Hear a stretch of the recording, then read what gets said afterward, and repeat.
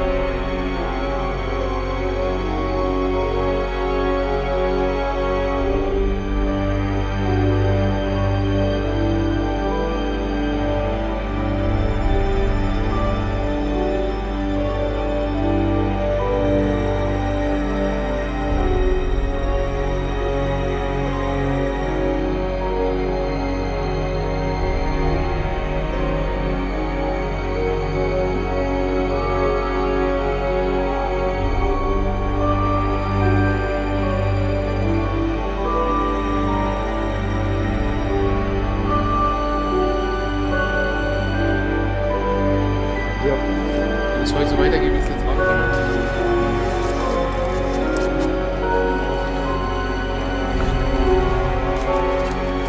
So, so, Julian, du bist heute Kameramann. Jo. Sehr geil. Hat ja beim letzten Mal auch ganz gut geklappt.